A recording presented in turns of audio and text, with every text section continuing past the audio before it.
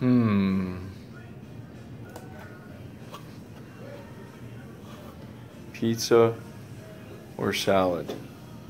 Pizza or salad? Pizza salad. All right, guys, let's get serious.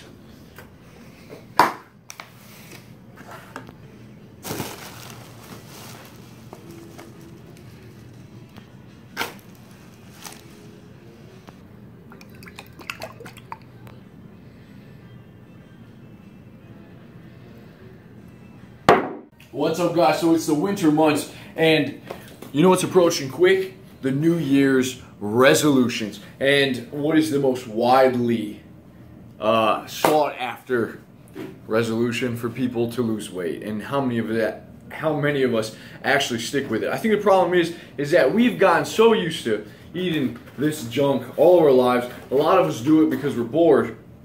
A lot of us do it because we were raised that way. We didn't have someone to teach us how to eat, and we don't know how to eat. We don't know how to feel really good. We're 20, we're in our 20s, 30s, we're supposed to be alive, filled with vigor. And it is because we put so much shit in ourselves, we still have acne. I even get a little acne sometimes. And it can all be avoided. These bumps on your skin can be avoided. If you put the right food in, you can wake up feeling great. You can lose weight by just, you don't have to stick to a diet. That's the secret. Everyone's trying the Atkins diet.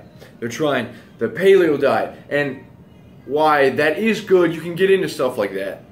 Right? I, I kind of opt for a ketogenic diet.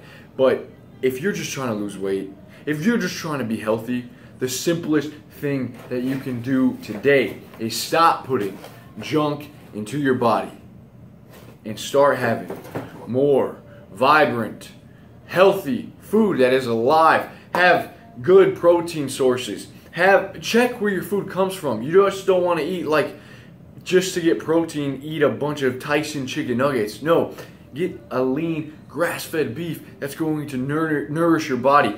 Get wholesome vegetables. You see the box of salad I just bought? It's like five bucks. Lasts me all week. Have salad every day at work. Bring it with you. If you're going to work every day and you don't know what you're going to eat for lunch, don't just go along with your friends.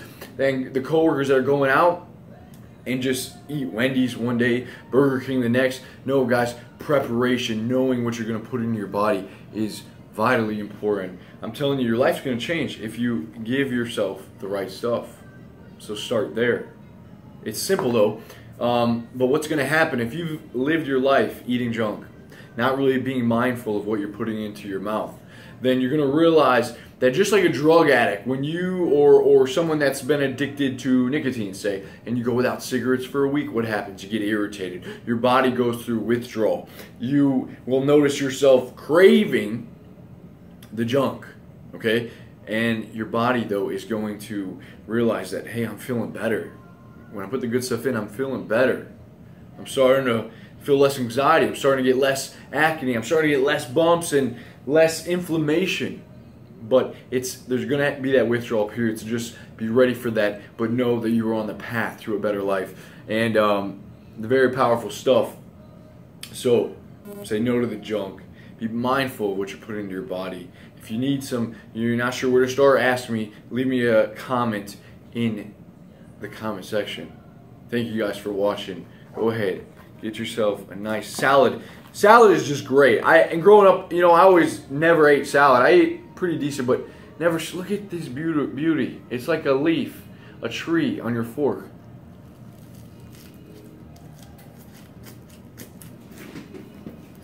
Mm.